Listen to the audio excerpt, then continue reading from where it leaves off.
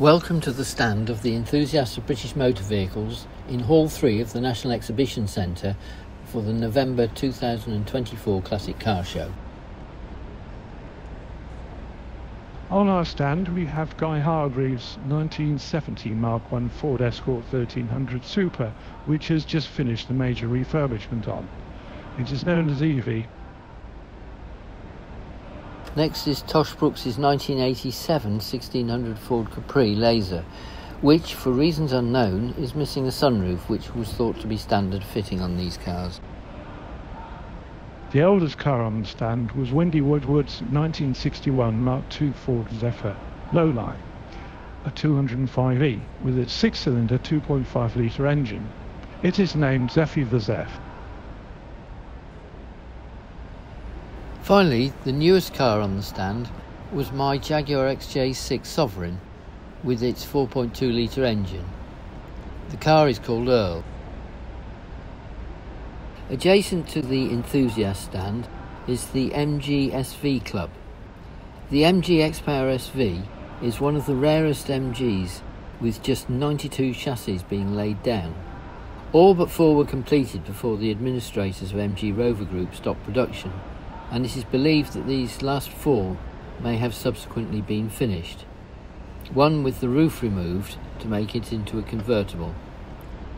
These cars are all fitted with Ford V8 engines from the Ford Mustang and were hand assembled in the MG Sports and Racing facilities at Longbridge. Prices started at £65,750 in 2004.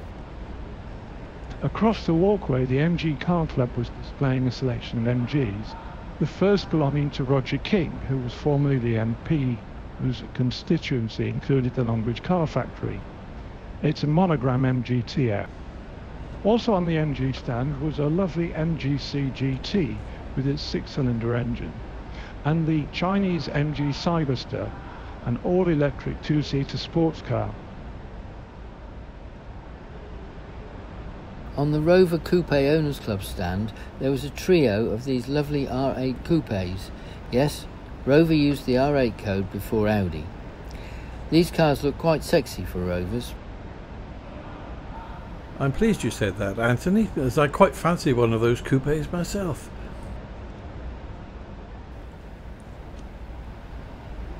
I particularly like the look of that blue one just beyond the grey here. Really nice looking car.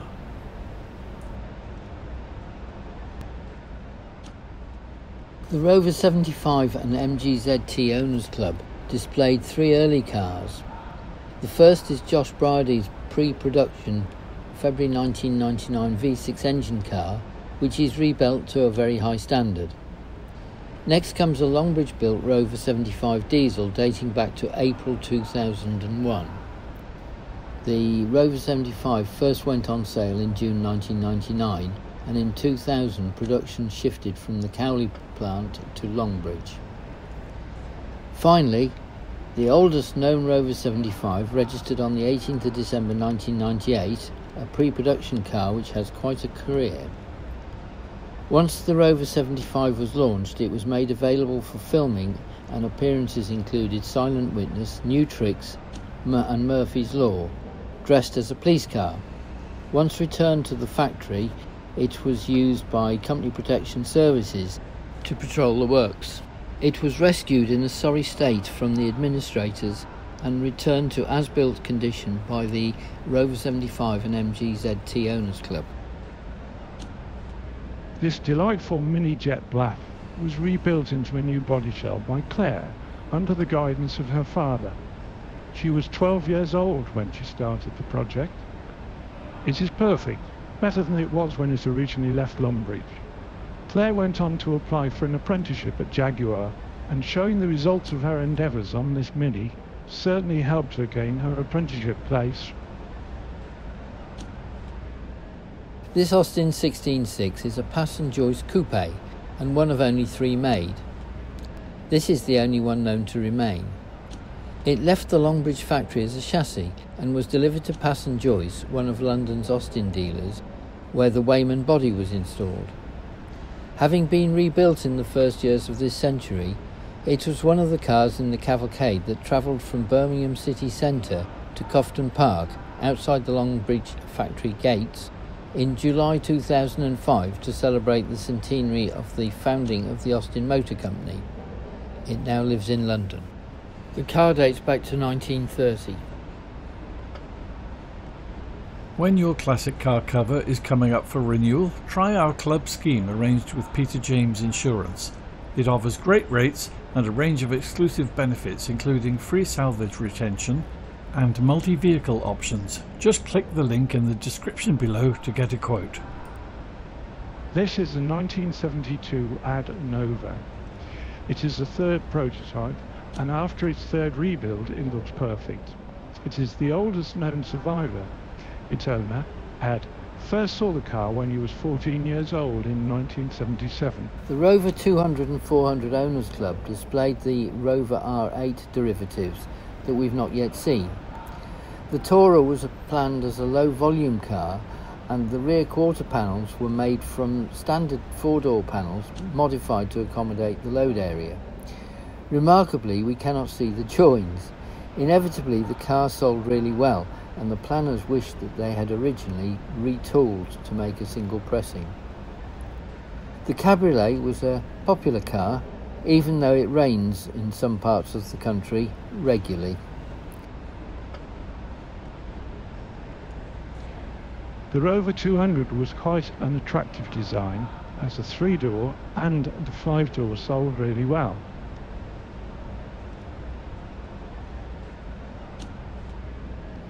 The Rover 400 was the four-door derivative which looks very professional with its boot.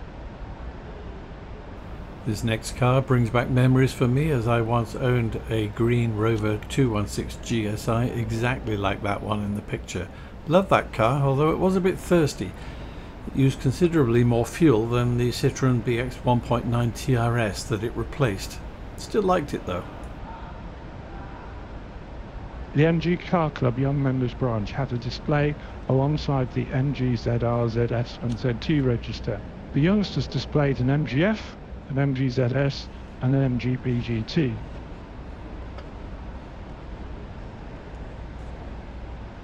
Also displayed were a very shiny blue MG ZT, an unusual green ZS and a silver ZR. The last three cars being the latest facelifted models from 2004 and 2005.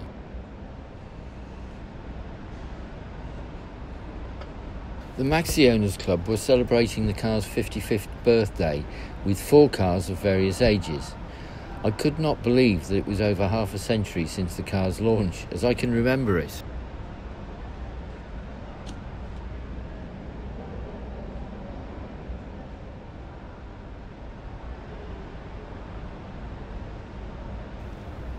Here celebrating 50 years of the Range Rover. First this lovely white model, but hidden behind it, uh, dressed up in its police livery, is a 1994 Land Rover uh, Vogue SE90. Uh, first registered in October 1994 and still with all the markings, the lights, still looking ready to go and head off down the country's motorways, patrolling for scallywags. Land Rovers, here at Series 2, were used by many forces across the world, this one by the RAF. They were also used as fire tenders for all sorts of specialist environments. Here is another unusual Series 2 chassis cab with a tipper back fitted to it.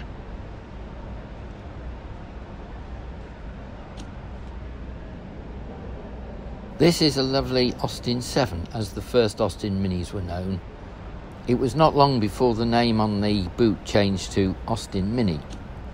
This car was registered in July 1960, less than 12 months after the car's launch.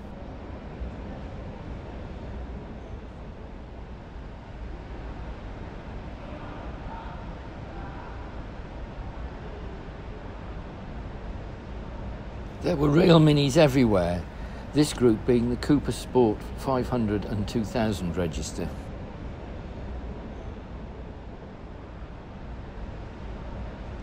Excuse me, madam. And alongside we have the Mini 40 register.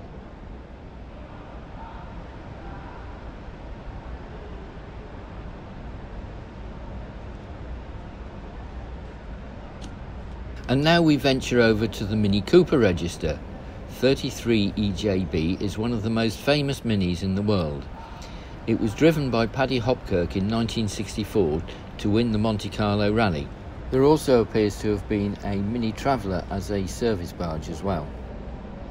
On the Moke Club stand here are three mini Mokes. The first, the pale blue, is an all-electric affair we believe is built in France. Other more recent Mokes, of course, have been built in Australia.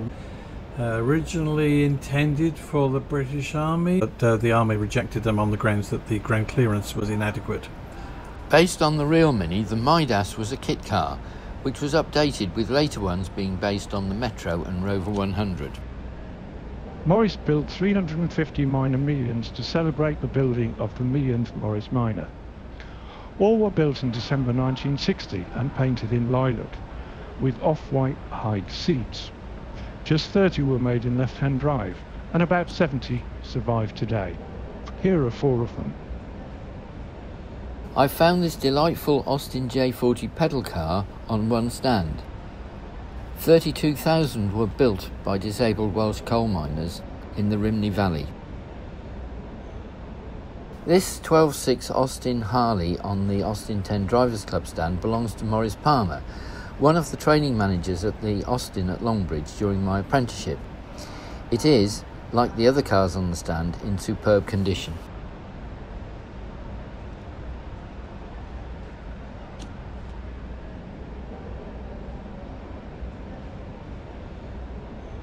Here is Graham Bryan's smart Austin 10 open road. It's a bit of a pity that the roof is up, even though we hope that the NEC roof does not leak. Behind is David Jamieson's 1934 Austin 18, York, which would have cost about £328 when new. How prices have gone up. David is another former MP, as was Herbert Austin himself. I wonder how many former MPs have had a connection to Longbridge and its products.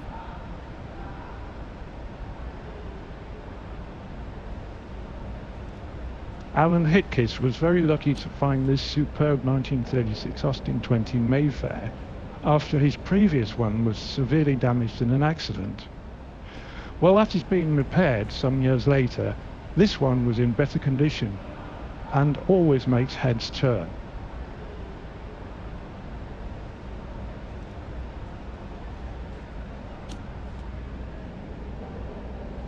This 1958 Austin A40 was campaigned by Pat Moss, Stirling's sister, and navigated by Anne Wisdom in the Monte Carlo Rally in 1958. This was the first Practical Classics project car introduced in Issue 1, Volume 1 in 1980. It was last sold in May 2021 by Bonhams for a mere £45,000. The Landcrab Club International has five cars on its stand. Firstly is a white Morris 1800S Mark II with its metal stripes down the side and Rostyle wheels. Immaculately presented is Clive Serrell's pristine Austin 1800 Mark I. We saw how perfect his daughter Claire had made her jet black real Mini earlier under the Clive's training. Both cars demonstrate how much of a perfectionist he is. There are another two Mark I Austin 1800s, both exceedingly well presented, and a Wolseley 1885 on their stand. It's one of my regrets that I've never been near one of these cars, never been in one, never even been close to one. Uh, they look beautiful and very comfortable, and people talk so affectionately about them. Oh well, maybe someday, it's not too late.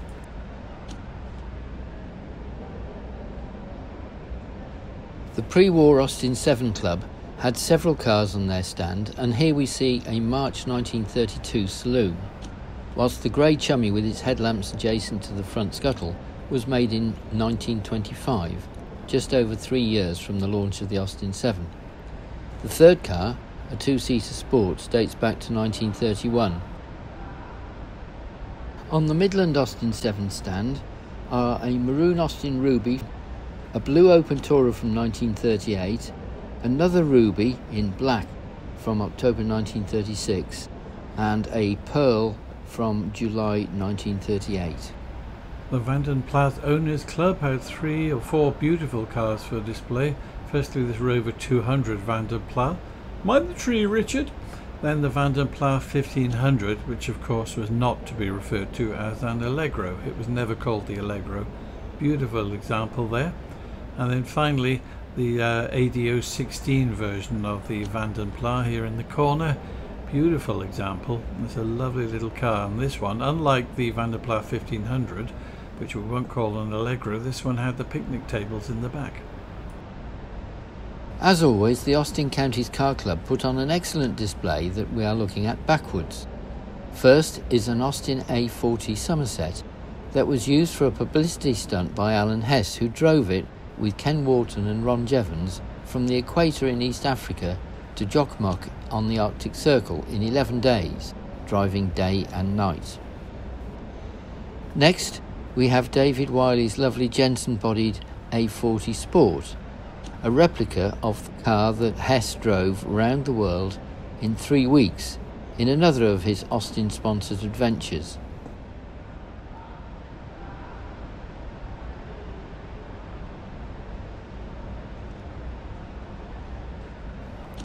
Finally, they have the oldest car of the three, an Austin 16, which was fitted with Austin's first overhead valve engine just after the Second World War. Also on the stand were a selection of these little Austins in saloon and countryman forms.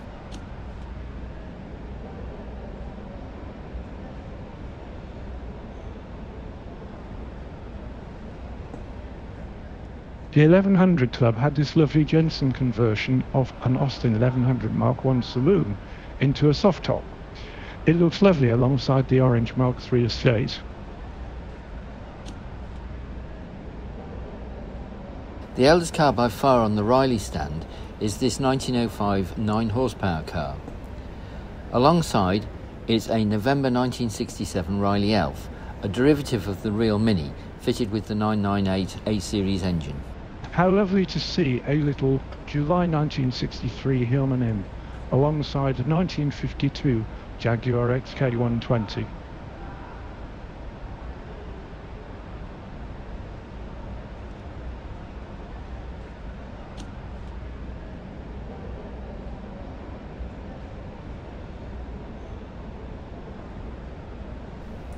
Ah, the old Sinclair C5.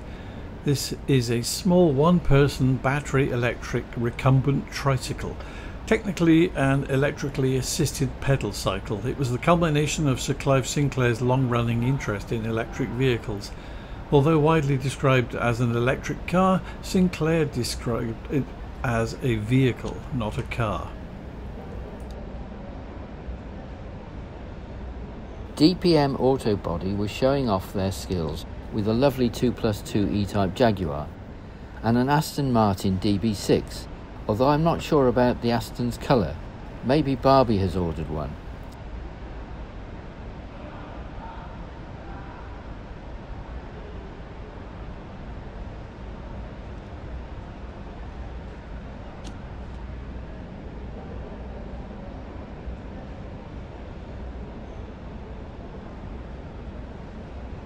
The Volvo also looks good if you're a fan of Volvo.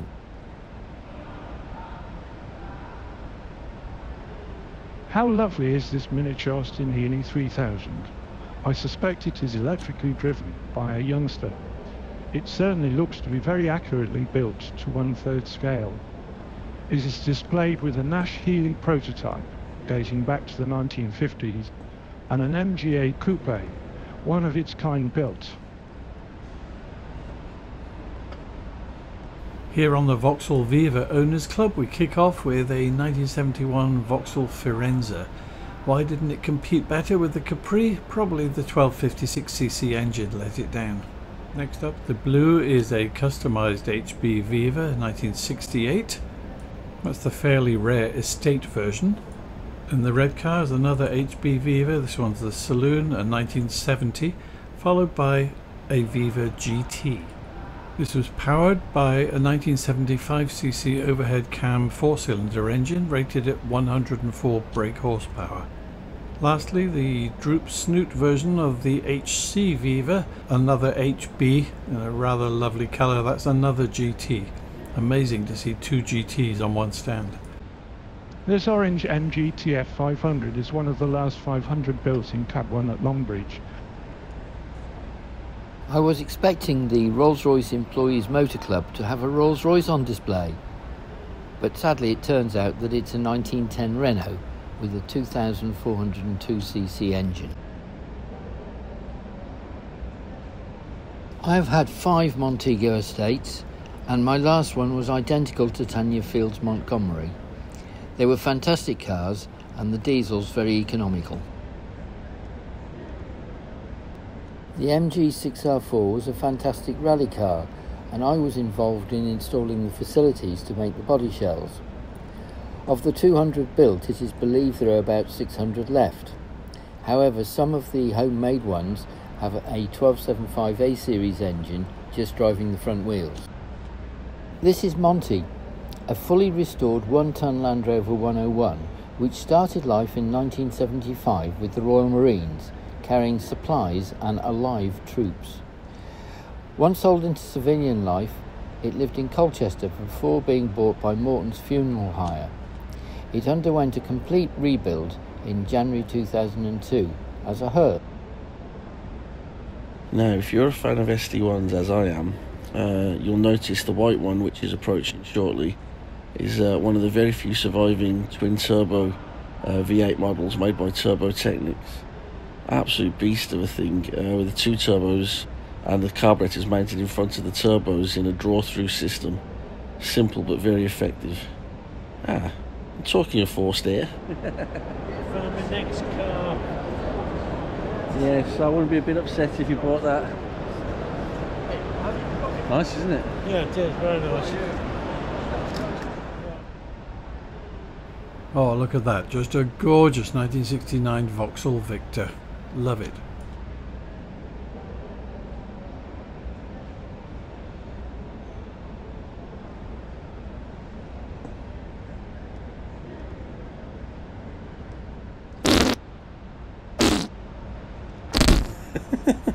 You filthy beast.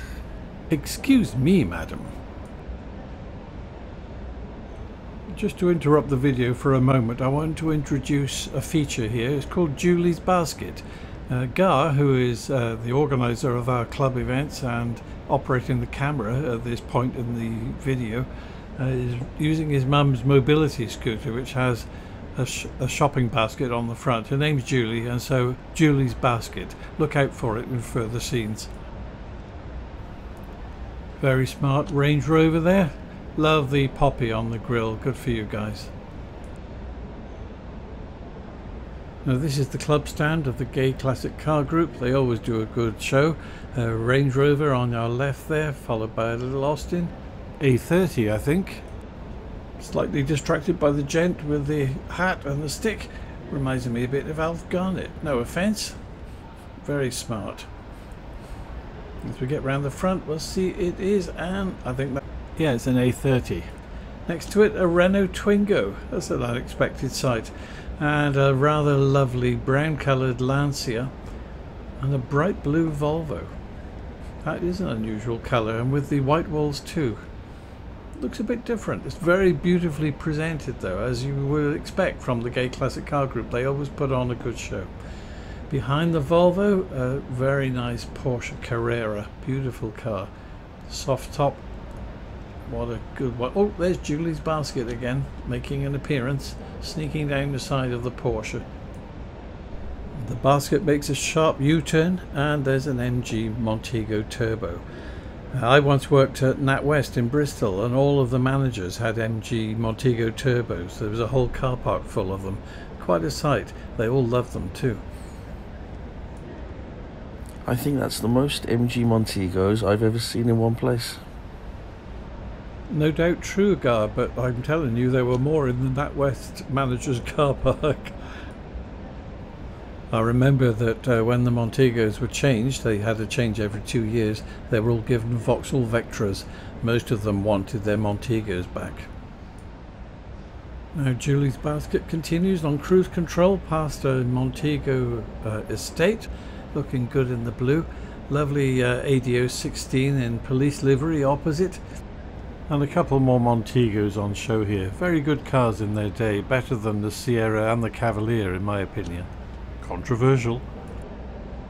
If you've seen our BL Rally video from Milton Keynes, you'll have seen this white Montego estate before. The owner bought it with some 280,000 miles on the clock.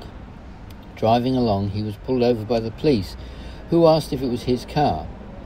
The policeman went on to say that it had been one of their unmarked cars, and last time he drove it, the odometer showed over 800,000 miles. This means it's now completed over a million and a quarter miles.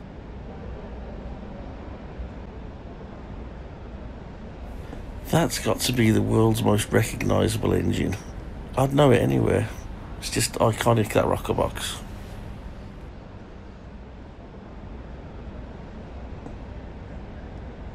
Mind the tree, Richard. Oh, Julie's basket is back. Where's she headed this time? Going straight down the aisle. Oh, taking a right over towards the Allegro. I do like an Allegro. That's the Mark 1, the best of them in my opinion. I like the orange too. Look at the condition of that. That's a Marina Coupe 1.8 TC, I believe. Much sought after, quick car. Looks like it's had an engine swap. Not sure what that is. Looking around to the Princess.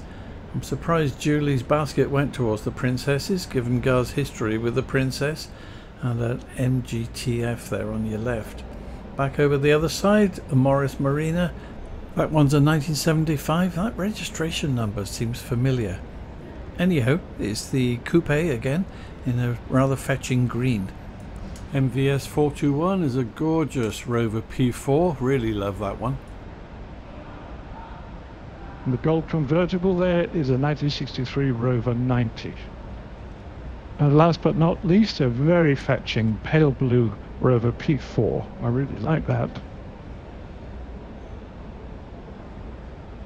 Sticking with the blue, this one's a 2 litre Ford Capri from 1983. Beautifully presented. And the red car beside it is a 1937 Jaguar SS100. Absolutely stunning. Just take a look at this beautiful pink Vauxhall Cresta, owned by group member Roy Gaskill, and a real credit to him. Nice one, Roy. The little white hatchback on the corner here is a 1994 Peugeot 106 Rally, listed as having a 0 to 60 time of 10.7 seconds. I'm a sucker for a good colour, so I love this Porsche. It's a 2002 Boxster S, listed with a 0 to 60 time of 5.9 seconds. And beside the Porsche is this red 1977 MG Midget. Next up, this white car's a model that's been catching my eye lately, a Lotus Esprit Turbo, 1986 with a 152 mile an hour top speed. Love it. This little beige coloured cutie is a 1968 Fiat. If anyone knows what model it is, tell us in the comments.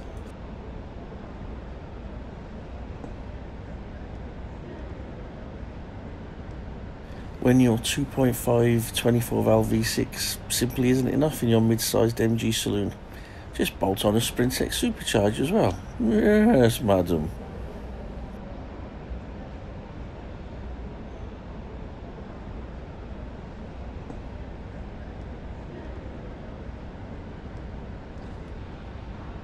And to finish up our look at the show, we're back at the Enthusiastic British Motor Vehicles stand Anthony's lovely Jaguar, Ian's Ford Zephyr looking fantastic as always. Tosh brought the lovely Capri, probably the most popular car on our stand. And Guy brought this gorgeous restored Ford Escort, the Mark 1 1100cc. Probably one of the few Escorts at the show that didn't claim to be a Mexico or an RS. Good for you, Guy. Lovely motor. That's it from us. Thanks to all the owners for bringing their cars. It was a really good show. Thanks to you for watching. Please subscribe if you haven't already done so. Give us a like, it does help. And do join us next time.